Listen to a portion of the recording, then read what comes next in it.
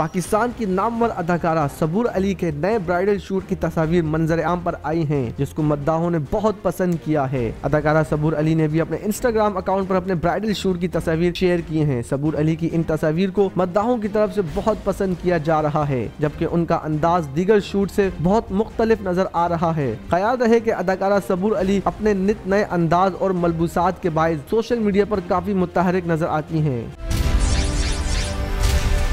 बोल ब्रीफ्स की वीडियो सबसे पहले देखने के लिए बोल ब्रीफ्स के चैनल को सब्सक्राइब करें और बेल आइकन पर क्लिक करना ना भूलें।